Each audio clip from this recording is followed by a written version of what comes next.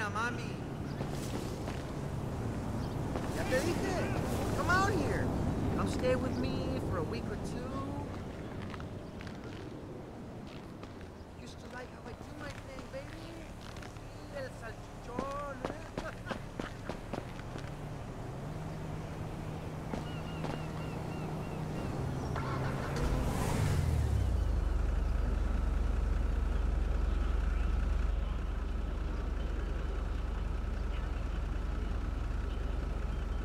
Sounds horrible. He did what?